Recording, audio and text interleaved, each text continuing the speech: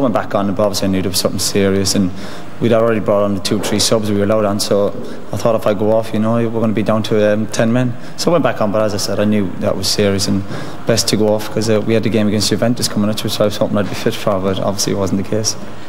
Amazing when you consider that Terry Cooke suffered almost the same injury just 10 days earlier. Cooke had been playing for the reserves against Sheffield Wednesday. I was devastated because, by my opinion, I thought I started the season off well and I was like on fire, really. It was just a big blow to me. What about now? I mean, uh, have you? What kind of reaction did he have? Was it was it tears or was it just? Was oh it... yeah, I was yeah, I broke down a little bit. Mm. Me and my girl, well, my girlfriend was with me at the time. She kept me comfort like, and um, it just lasted for a couple of days, and just got over it, which you have to, and just get on with it. You'd think they'd be sitting at home in armchairs, feet up in front of the telly, but not in these heady days of modern sporting medicine. If you ask me to twist and turn, which is um, pretty important for a footballer, you know, and you know I can't really do it. I can feel it.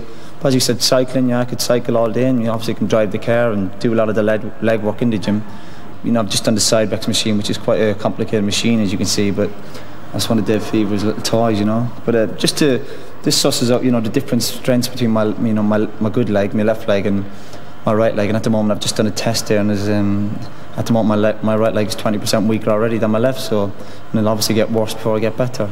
Before the major operation can take place, both players have to build up the knee to guard against any further damage when they actually go under the knife. The operation involves um, taking a strip of tendon from the thickest, strongest tendon in the uh, body, which is the patella tendon. What happens then is that they drill a hole through the shin bone on the inside of the knee, drill a hole through the thigh bone on the outside of the knee, and thread the tendon through. In terms of healing, what happens is, is that because it's a tissue from your own body, it takes time for the blood supply to regenerate and reform through the, the new tendon we've made. So what happens is that it takes in the region of six to nine months for that vascularization, that increase in blood flow, to go through the actual knee joint. Do you know what you should do now? This is where you've got time on your hands. You should actually take up something like I don't know carpentry or something. Like I, I did buy a model car, but that didn't work out so good, so I'm not doing that. I'll just sit down and watch Cartoon Network or something on the cable. I haven't been to watch a match yet, to be honest. You know, and give me time, I would probably go to a match. But it's not because you know it's just frustrating for me to watch.